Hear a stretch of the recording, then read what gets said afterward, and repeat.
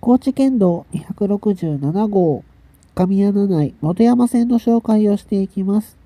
千と千尋の神隠しのような入り口の様相となっています。山に分け入っていく様相が不思議な光景を醸し出しています。終点側の高知県本山町生保からスタートしていきます。土佐北街道に指定されており、昔参勤交代で使われていた道となっています。赤荒峠から国山の方に登り、県道268号へと降りていく道が土佐北街道となっています。吉信を目指してまずは上がっていきます。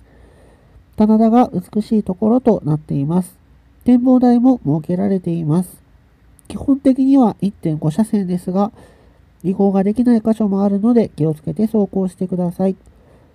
展望台が設けられており、白髪山方面の眺めも楽しみながら、吉信の棚田を見ることもできます。吉信の棚田を越えると赤荒れ峠に向かって登っていきます。大きな山並みを楽しみながら走行していきます。高知県特有の路盤となっています。異常気象時通行規制区間は一旦終わります。赤荒れ峠です。標高は820メートルほどとなっています。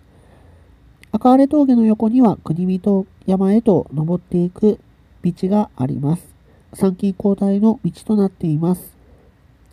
そして異常気象時通行規制区間が始まりますが、イノシシや鹿さんも道路を使っていますという旨の看板があります。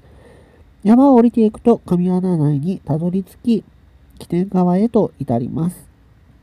高知県道267号は15.2キロの道となっています。